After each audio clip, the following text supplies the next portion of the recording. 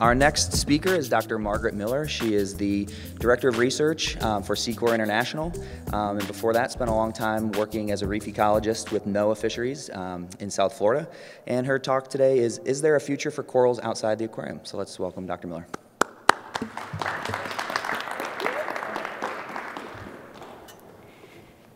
Thanks very much. And I also want to thank uh, the organizers of MACNA. It's a great opportunity um, to be here this weekend. Um, I am not an aquarium keeper, so I've had a lot to learn, and it's been exciting to um, interact with a bunch of folks that know a lot about corals um, in a different way than I do. So it's really been a privilege to be here, and I appreciate the opportunity um, to speak to you today. Um, as was introduced, I work with SECORE International. This is a nonprofit conservation organization um, focused on coral restoration, but using larval propagation. And so we'll be talking about that um, a little bit later in the talk. But I wanted to give a little bit of background and a little bit of understanding about uh, corals in the real world.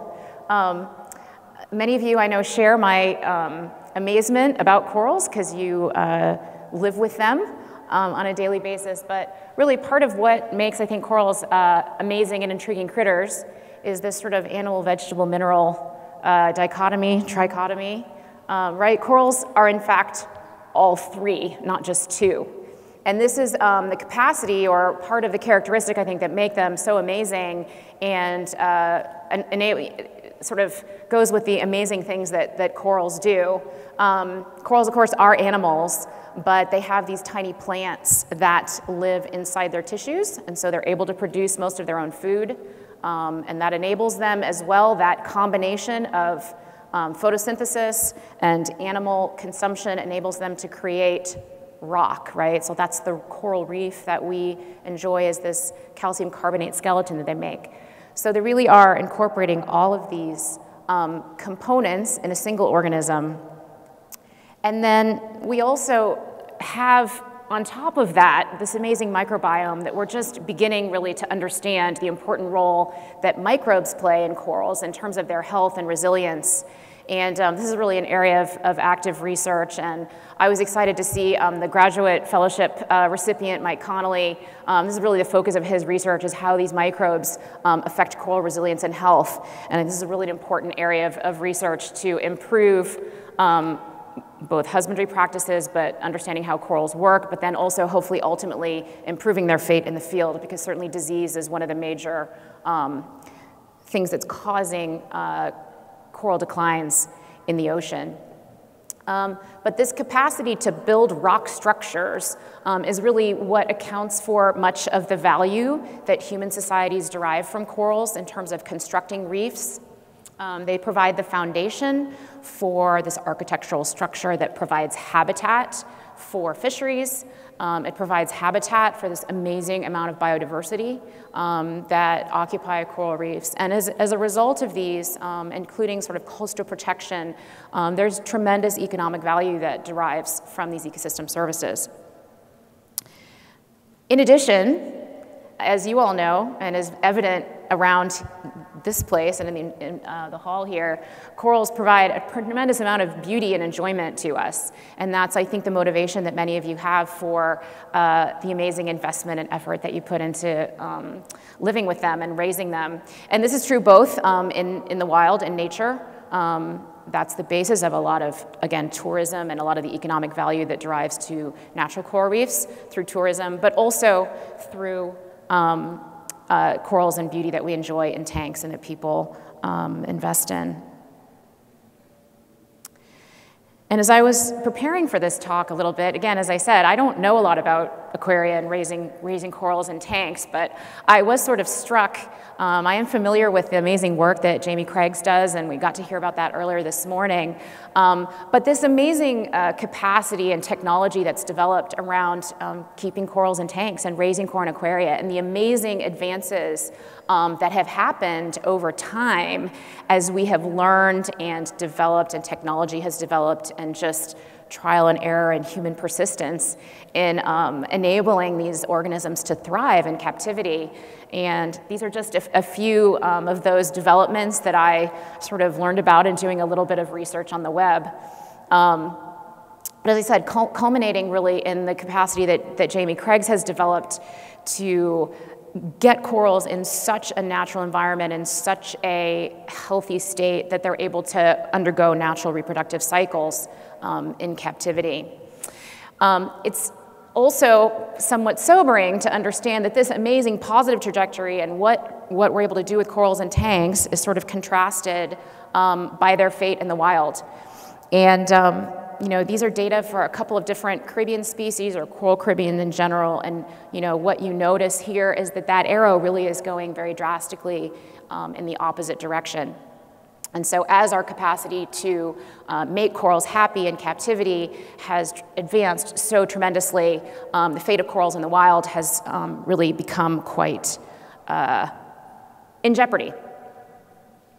Um, that was the data, but I think these um, photographs also illustrate perhaps better um, what this really means in, in wild coral reefs. Uh, Gene Shinn, who worked for the US Geological Service for a long time in South Florida, um, assembled these amazing time series photographs of uh, reef sites in the Florida Keys. And so um, this is one of those sites. Again, he has photos going back to 1961. You can see those tremendous and diverse um, coral communities here going from 1961, um, the community changing a little bit, the Acropora is really dominating for a period of time, the Acropora is disappearing, um, and then this gradual progression where what we have now is virtually no hard corals at all, um, and there's a, a, rich community of soft corals. But again, those are not serving quite the same um, ecosystem services as those um, reef building hard corals do. And this sort of scene and progression is repeated um, many, many, many places throughout the Caribbean. And so there's the why. Why does this happen? What has been the, the cause of such drastic declines? And of course, there isn't a simple answer. There are many, many, many things that um, cause decline in, and I'm focusing primarily on Caribbean coral reef communities because they're, well, they're further gone, I guess we'll say, than most uh, Indo-Pacific reef communities. But there's a host of problems that have affected corals.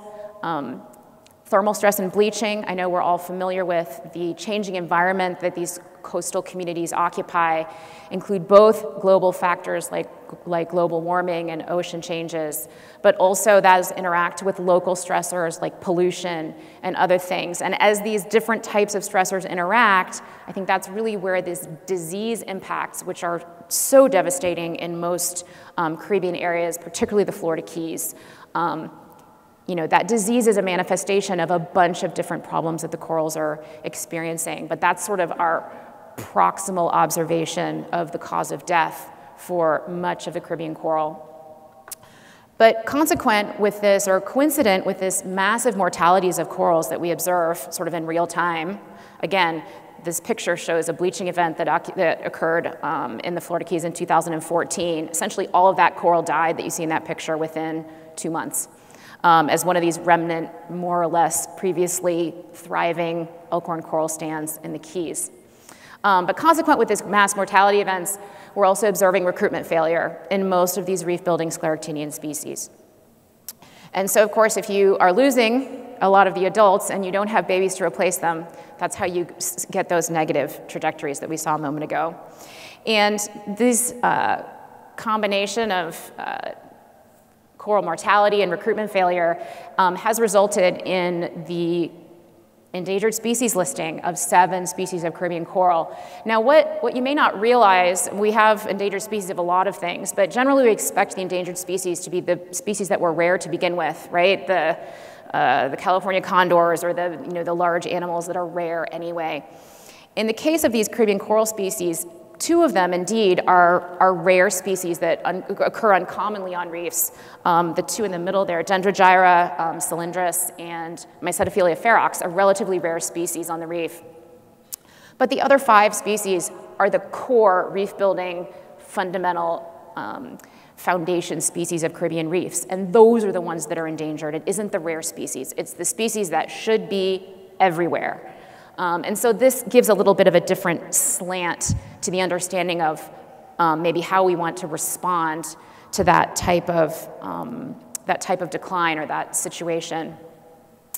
Um, partly, well, so the, the sort of the history of coral restoration then, if we think about what can we do actively to bolster these species and these populations, um, the sort of traditional management approach, at least, at least in the States, has sort of been, yes, we um, engage in reef restoration, but it's something that, that it's an activity that's limited really to these types of very acute human impacts, such as ship groundings. And for many, many years, that was really the context that reef restoration um, was undertaken, at least um, in the States. The idea being that we should not meddle or interfere in natural disturbances because natural recovery processes should, um, the natural processes should be able to um, take care of and, and resolve those natural disturbances.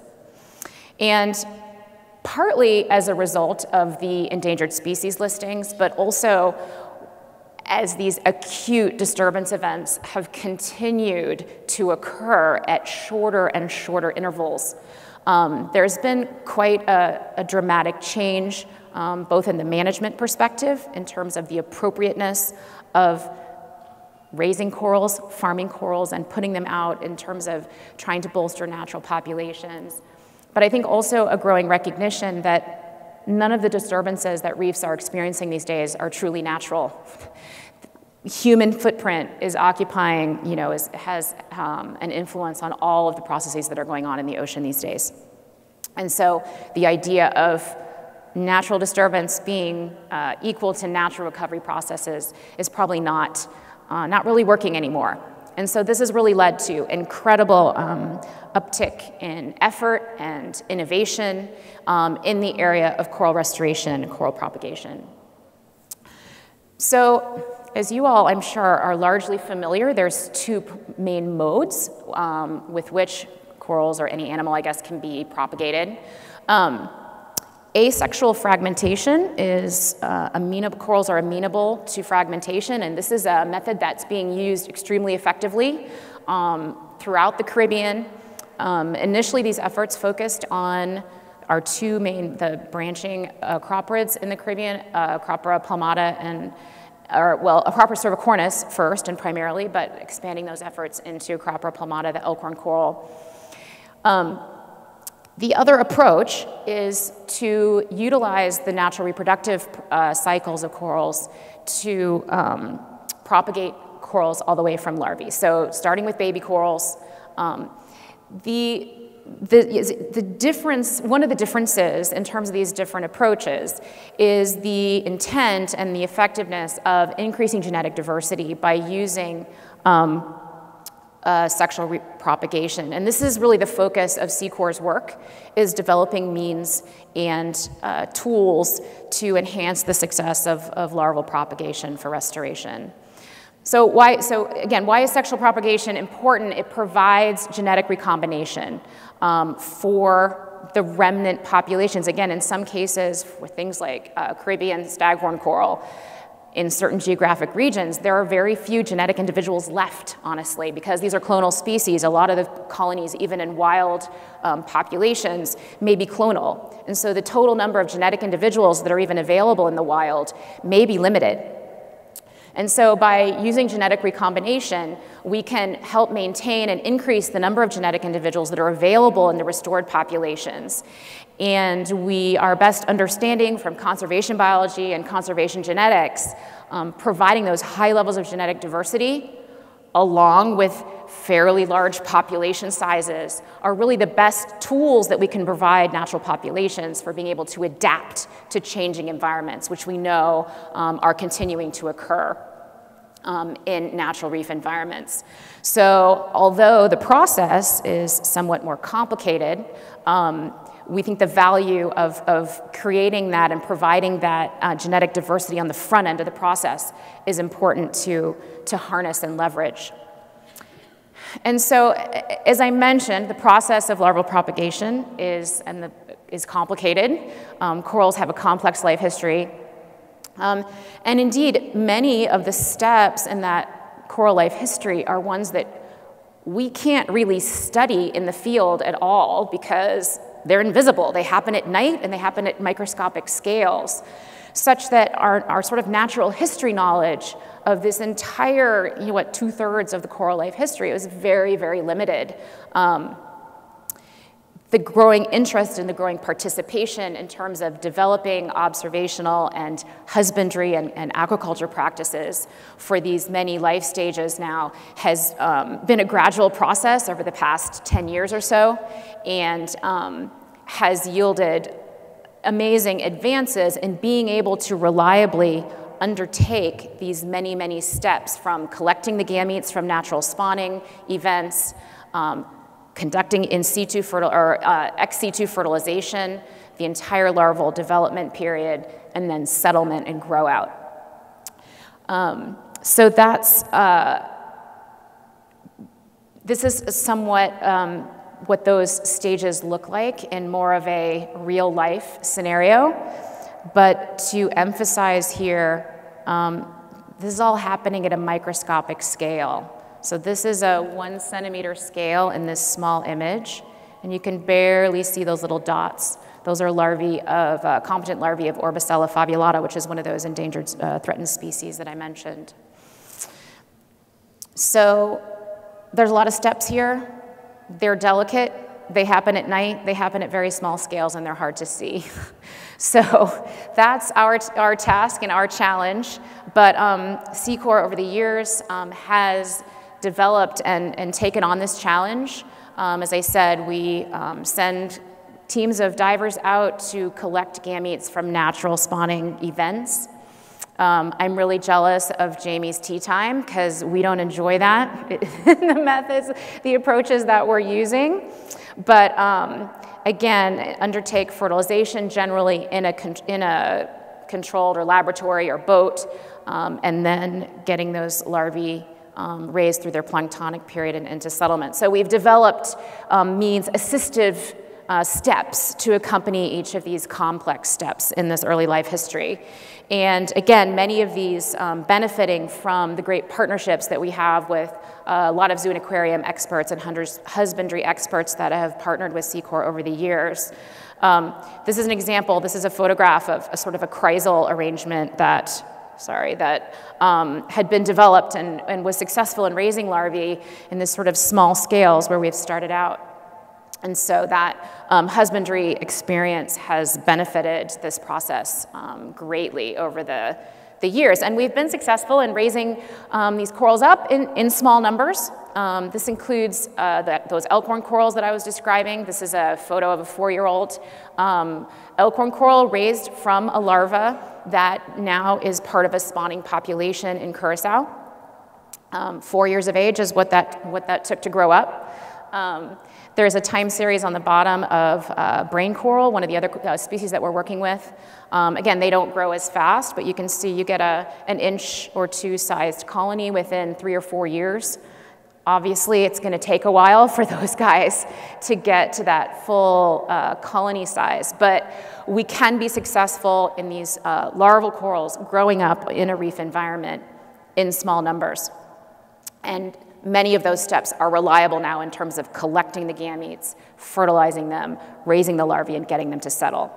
The challenge really is in doing that with a lot more corals and getting them to grow up better once they're placed in the natural environment.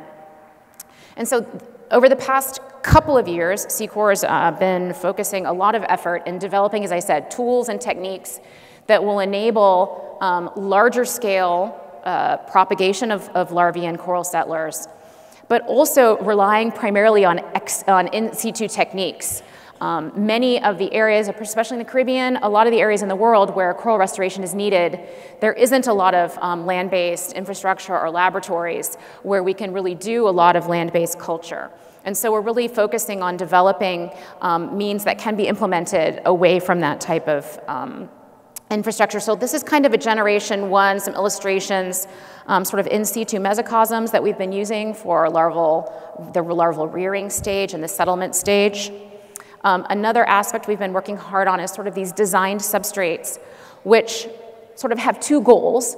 one goal is to be sort of a self-stabilizing unit that we can use to transfer those settlers into the reef um, self-stabilizing so that they don't require the labor-intensive activities of gluing or nailing or cable tying those down. They can simply be wedged in by hand. You can kind of see what those look like here in this lower um, panel here, where they've just been sort of wedged into the reef. So self-stabilizing shape, but also uh, providing a beneficial habitat for those very small settlers to enable them, again, to improve this post-settlement survivorship phase, which is really the bottleneck that we're still very um, focused on improving. So this shows sort of two first-generation um, units. We have uh, conducted quite a few pilot studies with these in various locations. Um, these are conduct, uh, constructed with concrete, uh, molded concrete.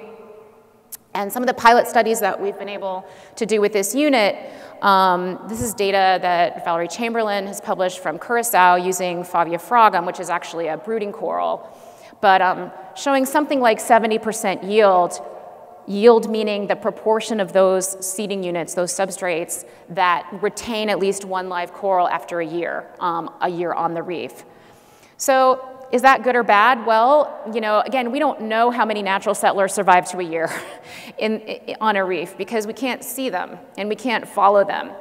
Um, but we're pretty pleased with this as a, as a first pass, and we have gone on then over the past year um, to take that information both on those first generation pools. You can see here our second generation, both of these in situ rearing pools, and then a range of different substrate types that we are testing sort of as we speak. We have these units. Um, the lower picture here was from the Bahamas just last week. I dashed here from the Bahamas, um, showing those substrates deployed in one of those new pools.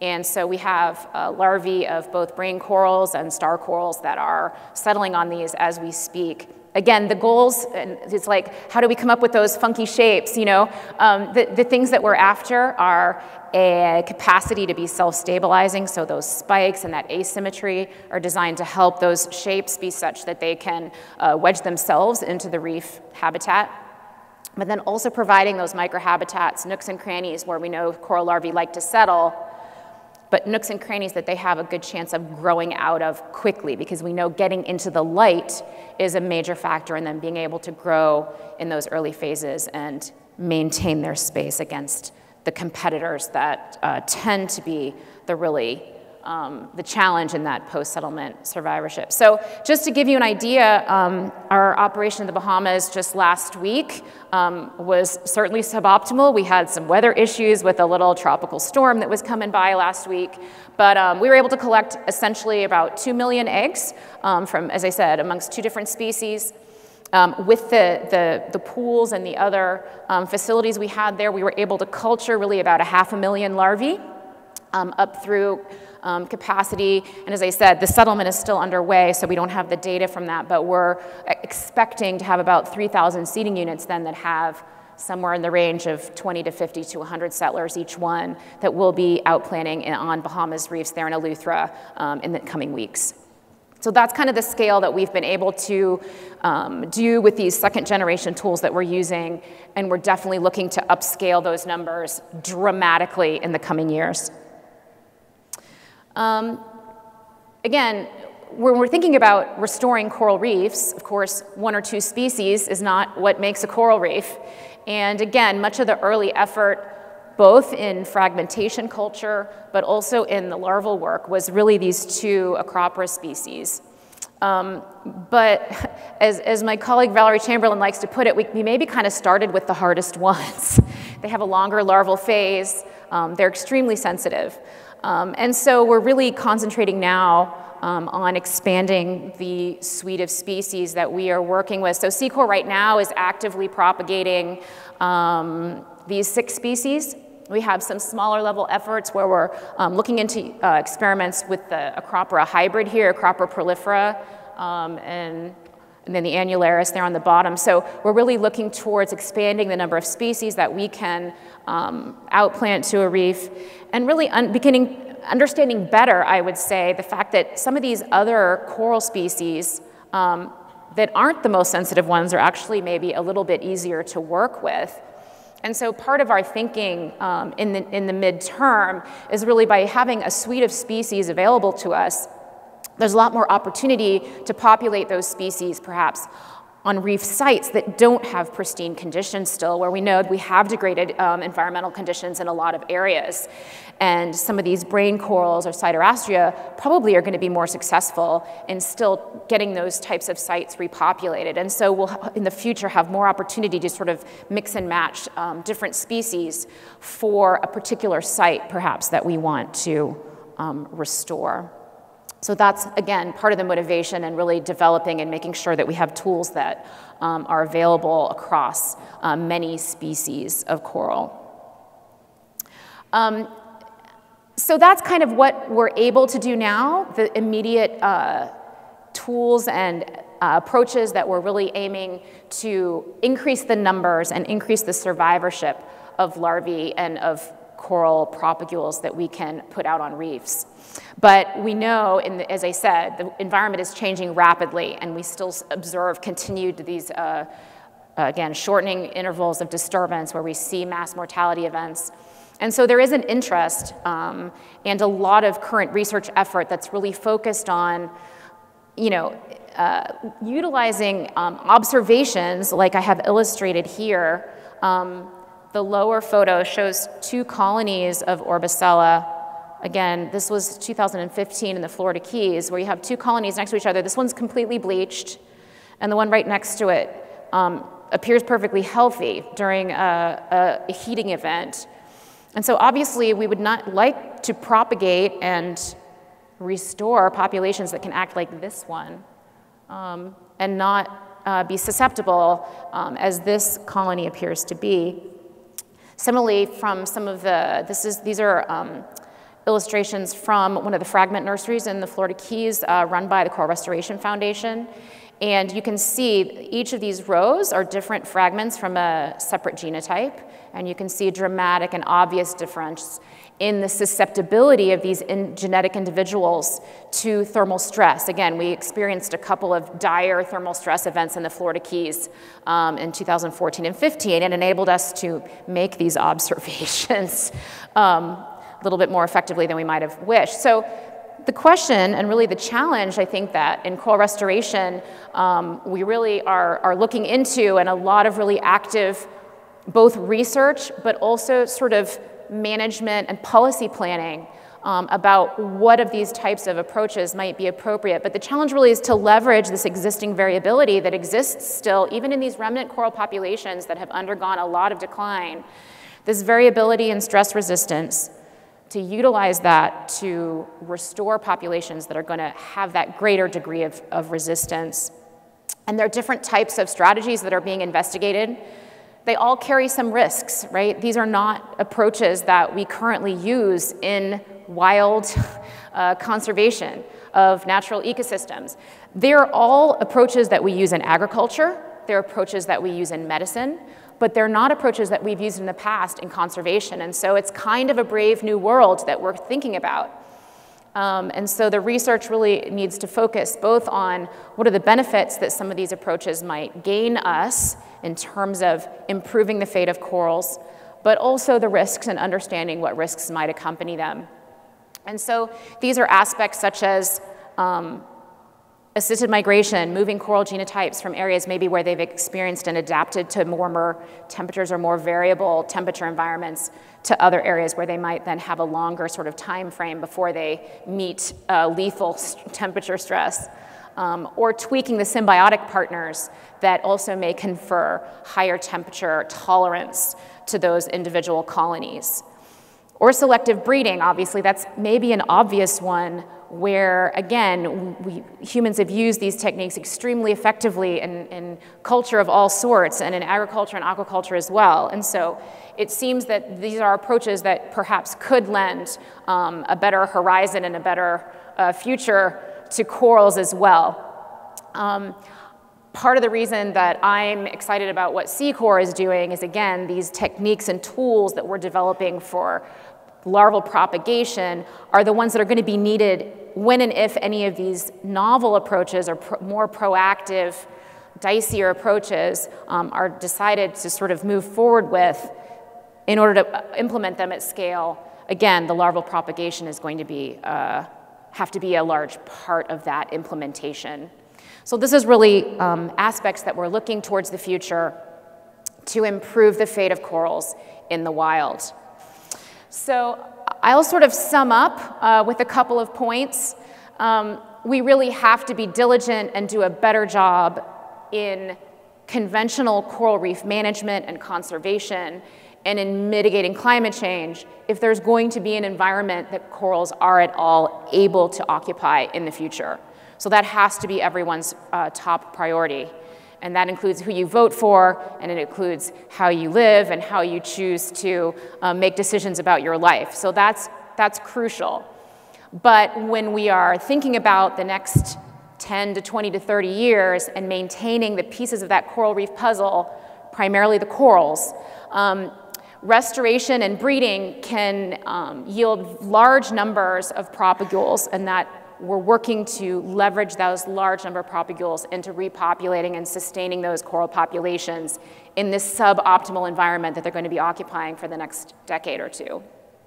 Um, and SECORE, as I said, we're really focused on upscaling in other areas of coral restoration as well. Really, the focus is on developing um, methods that involve less work, that are cheaper, more effective, so that we can really match the scale of restoration efforts to the scale of degradation that we're trying to address. Um, I'm going to put a couple of points out here. People often ask what they can do to help out. These are sort of some summary things that um, are true for everyone. Things like, as I mentioned, uh, doing what you can for mitigating uh, climate change impacts, um, you know, limiting single-use plastics. I'm sure you guys have heard a lot of this stuff, but I would encourage you as folks who keep and maintain reefs in your homes, um, you know, do what you can to make sure that those, that your systems are stocked and maintained in a sustainable way. But also use your, your tank and the reef that you house, use that to educate your friends and family to understand that, you know, what you can grow with those, that coral reef in your tank really is is, is overtaking or overcoming really the status of those corals in their, in their natural environment and use that um, tool that you have, that attractive tool in your home to educate your friends and family to understand um, the fate of corals in the wild. Um, I need to acknowledge the many great uh, partners that support SECORE's work, um, including both, as I said, our zoo and aquarium community, also our research partners, and the Cal Academy of Sciences and the Nature Conservancy that support our work. And I will be happy to take questions and any other ideas or discussion folks have. Thank you very much for your attention.